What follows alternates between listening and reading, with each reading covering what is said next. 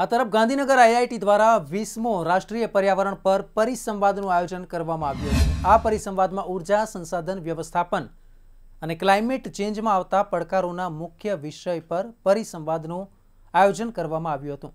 જેમાં atomic energy regulatory બોર્ડના chairman S A ભારદ્વાજે જણાવ્યું હતું કે આપણે લોકો ડગલે ને પગલે રેડિયેશનનો ઉપયોગ કરતા થયા છે. રેડિયેશનથી કોઈ જ નુકસાન નથી થયું, તેનાથી લોકોએ ડરવાની જરૂર નથી.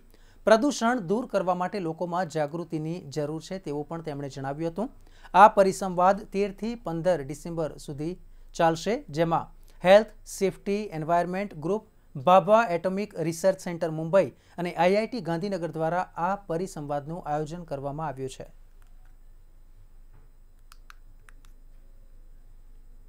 से आपने पूछा कि रेडिएशन के बारे में लोगों को डर है तो डर जो भी किसी भी कारण से है, वो तो सिर्फ़ अपना ज्ञान बढ़ाने से दूर हो सकता है। अगर आप डरते रहेंगे तो डर बढ़ता ही रहेगा। तो उसके बारे में ज़्यादा समझना रेडिएशन के बारे में ज़्यादा समझना आज के युग में बहुत आवश्यक हो गया है, क्योंकि हम रेडिएशन का उपयोग किए बिना रह ही नहीं सकते।